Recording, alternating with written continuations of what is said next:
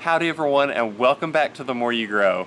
One of my favorite things to do is to sit out on my back porch and watch all the hummingbirds come to my hummingbird feeders. I love to watch them fly around, to interact with each other, listen to their noises, and just watch them and what they do. They're such amazing animals and they're such a privilege to be able to see.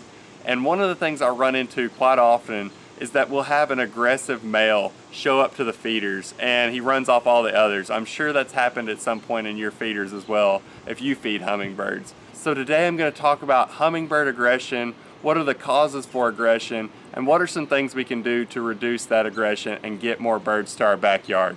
So let's go check it out.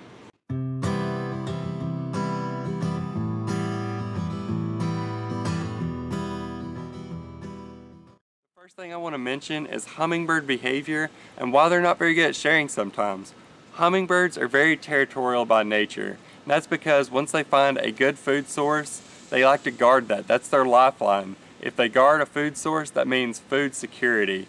And animals that are very social and sharing in nature, that's because that benefits them as a species. Hummingbirds, that's not the case. If they were to share food, that's just less food for them.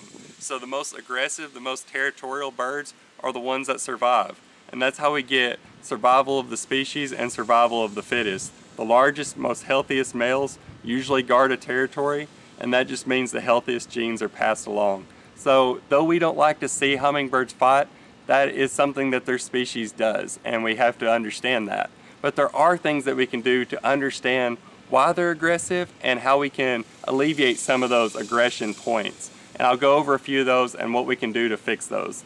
The first thing that you can do to reduce hummingbird aggression and aggressive males in your backyard is put up more sources of food. If you have one hummingbird feeder hanging out there, a male can guard that. He can run off anybody he wants. That's making it easy for him. So if you put up more sources of food, I have four hummingbird feeders back here. If you put up four hummingbird feeders or more, that's just even better. He can't physically guard four hummingbird feeders. So when he's chasing off one like they're doing right now over my head, there's three more getting a drink over here. And that just makes it harder for him to try to guard a feeder. Another thing that you can do is include more sources of natural nectar in your backyard. I have a hanging basket back here of petunias, they love that. You could do fuchsias, look for native plants that work in your area. I have Turk's cap over here, they love that. So just look for plants that work in your area, whether they're hanging baskets, native plants, or native plants and hanging baskets, whatever it is. Just try to get more food sources into your yard and the more food sources you have, the more can go around and the less aggressive they have to be. So let's talk about some other things to make it where one male can't just guard some feeders. Let's see what we can do about that. The next thing that we can go over is spacing. As you can see, I've got a hummingbird feeder here, here, here, a hanging basket, and another hummingbird feeder right over here.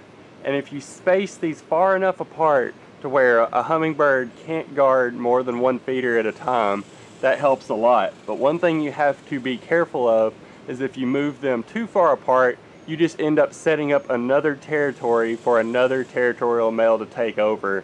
So it's good to have them clustered, but with a little bit of distance. Another thing that you can do is you could take one of these feeders and you can move it to the other side of a tree or another structure where it's not visible to all the others. That way, if there's a male up there guarding it, he can't see it from that side and he's not going to run anybody off.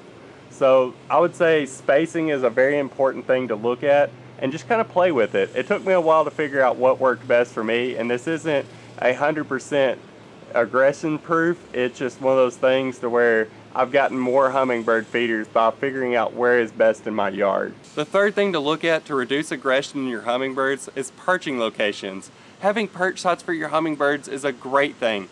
Gives them a place to relax, hide from predators, and somewhere where they can feel safe at night. And uh, one of their favorites is what's called snag branches. Let me show you an example of what a snag branch is.